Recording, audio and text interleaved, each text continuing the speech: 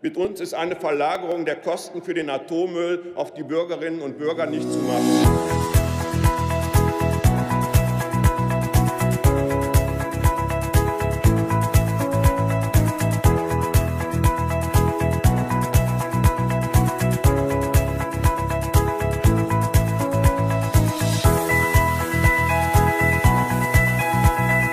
Ja, wir sind jetzt hier gerade im Kalifknechthaus mit einer Wahlkreisfahrt von Hubertus Debel und haben uns jetzt die letzten Tage ein bisschen Berlin angeschaut, haben ähm, verschiedene Besuche gemacht. Schwerpunkt war Aufarbeitung des Faschismus. Wir haben äh, das KZ Sachsenhausen die Gedenkstätte, haben dort sehr eindrückliche ähm, ähm, Schilderungen bekommen von den äh, Leiterinnen der Gedenkstätte und das war eigentlich ein sehr interessanter Punkt für uns als Partei, weil wir auch sagen, wir wollen äh, jetzt auch den, die, das Erbe des Antifaschismus weitertragen, gerade mit dem Aufstieg der AfD. Ja, und dann hatten wir noch ein paar andere Besuche, wir haben den Bundestag besucht und diese Gruppe war total nett und ich denke, das kann man auf jeden Fall auch nochmal wiederholen.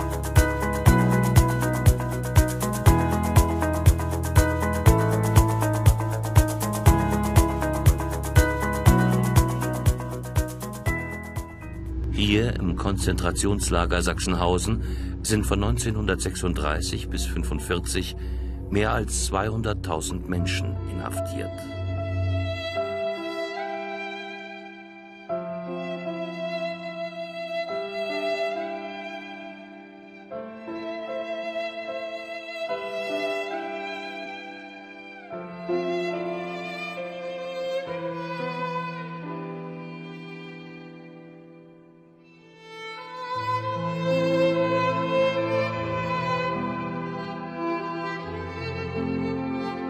Die SS hat das auch gerne aufgegriffen, nämlich Neuankömmlingen im Lager haben sie oft gesagt, es gibt einen Weg zur Freiheit, aber nur durch diesen Schornstein dahin, also durch den Schornstein des Krematoriums. Das war eine übliche Begrüßung hier. Und das zeigt auch ein bisschen die Rolle, die die SS hier eingenommen hat.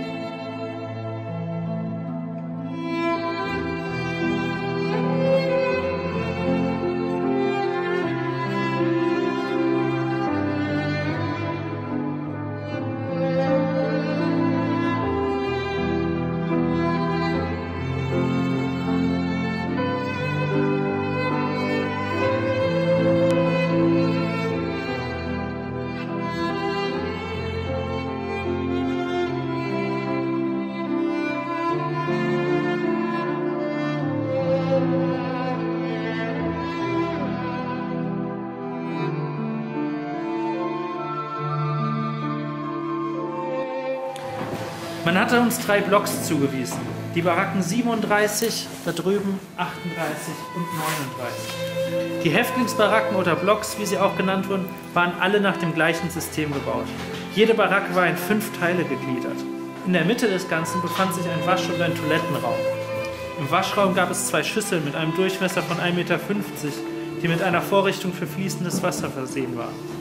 Vor diesen Schüsseln mussten sich acht bis zehn Gefangene gleichzeitig waschen. Links und rechts an diese beiden Räume schlossen sich die sogenannten Flügel A und B einer jeden Baracke an, die die Mannschaftsräume darstellten. Zunächst kam der sogenannte Tagesraum. An den Tagesraum schloss sich ein ungefähr 100 bis 110 Quadratmeter großer Schlafraum an, der für 60 bis 70 Personen Platz bot. Wir Polen wurden aber zu etwa 130 Mann auf dieser Fläche zusammengedrängt.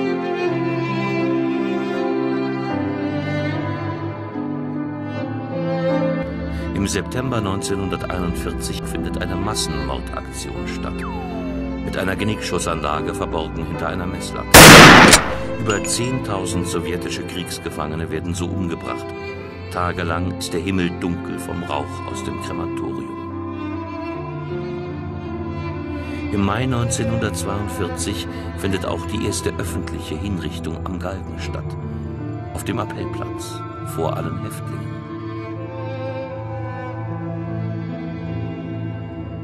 1942 wird die Station Z in Betrieb genommen. Ein Vernichtungsbereich mit Erschießungsgraben und Genickschussanlage. mit einer Gaskammer und mit vier Krematorien zur Verbrennung der Toten. Der Buchstabe Z, der letzte im Alphabet, steht hier zynisch für die letzte Station der Opfer.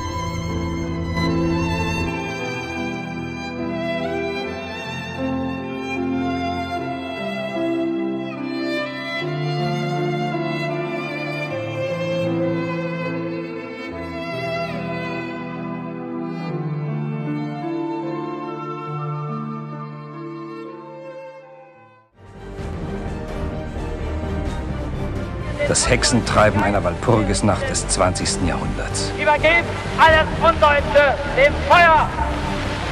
Ich übergebe dem Feuer die Schrift von Karl Marx und Kautsky gegen Dekadenz und Organisation und Disziplin ist jetzt wichtig, sonst kommt es zu Gewalt, da sterben unsere Mitglieder, das wollen wir nicht. Ja? Und wir sagen jetzt allen unseren Mitgliedern, seid ruhig. Und, Und der Spuk geht vorbei. und genau, dann ist es irgendwann halt bald vorbei, der Spuk. Und wir sind ja gar nicht politisch. Wir haben ja gar nichts mit der SPD zu tun. Wir sind ja für Arbeitsbedingungen. Ja? Und äh, so hat man versucht, die Organisation der Gewerkschaften zu retten und als unpolitisch darzustellen. Und das wurde dann eben bitter bestraft nach dem 1. Mai und nach dem 2. Mai. Ja? Und die sind auch nicht in der Lage, dieses System über längere Zeit durchzuhalten. Das war ja auch. Ja, genau, klar, ganz dabei. wichtig, genau. Zum Beispiel von der KPD weiß man abwarten. aber auch die Führung der SPD aus Berlin hat gesagt, die Wirtschaftskrise ist ja so stark, in einem Jahr ist der Hitler weg, der kann die Krise gar nicht lösen. Das war das Denken aufgrund der, auch der Regierung, die es davor gab. Und weil man eben nicht auf ausreichend auf Mussolini geschaut hat, was da passiert ist. Äh, Es gab eine kleine Partei dazwischen, die SAP, Sozialistische Arbeiterpartei und noch einige andere linke Gruppen, zum Beispiel Studenten, die waren dann in der Jugend von der SPD aktiv, äh, die hießen Leninistische Organisation, ja? aber die wollten damit eigentlich von unten eine Massenbewegung aufbauen und sich zusammen organisieren, aber halt auch äh, wirklich was machen. Und die haben aber geschaut, ey, bei Mussolini, das geht nicht mehr, wir müssen uns schützen, wir müssen uns besser vorbereiten. Aber das waren sehr wenige Stimmen, die dazwischen waren und die anderen haben gedacht, wir ziehen unser Ding durch und irgendwann sind wir dran. Das ist die Tragödie, deswegen haben hier Bücher gebrannt und dann in vielen anderen Städten danach auch, weil die Studenten von hier, die haben dann so einen so einen- so einen Tipp geschrieben, so einen, so einen kleinen Ratgeber geschri- geschrieben, wie macht man so eine Bücher, Bücherverbrennung und das haben viele andere dann bekommen. Wobei Münster, Und wir, wir können mal, ja, vielleicht als Ergänzung, weil Klar. die meisten sind ja aus Münster. In Münster war das äh, äh, schon durchdacht und auch mit initiiert. Das war nicht Berlin Ja. als Zentrum, sondern Münster war einer der, in der Bücherverbrennung einer der, der, der äh, Geburtsstätten davon. Die haben äh, äh, Anfang Mai einen Schandpfahl auf dem Fürsten, äh, gegenüber vom Fürstenberghaus auf dem Domplatz aufgestellt, wo sie die Bücher vorher angeprangert haben und sind dann in die Buchhandlungen gegangen und die Buchhändler haben ihrerseits die äh, äh, Bücher äh, dann äh, abgeliefert. Die sind mit LKWs, durch, die Nazis sind mit LKWs oder die Studenten und die Nazis sind mit LKWs durch die Stadt gefahren und haben die Bücher eingesammelt und dann anschließend auf dem damaligen noch nicht Hindenburgplatz, sondern Neuplatz, später Hindenburgplatz, heute Schlossplatz, äh, dann ein großes Feuer mit Bücherverbrennung gemacht. Also so, das hat auch was direkt mit der Münsteraner Situation Das war deine letzte Rede unter NSE-Fan mit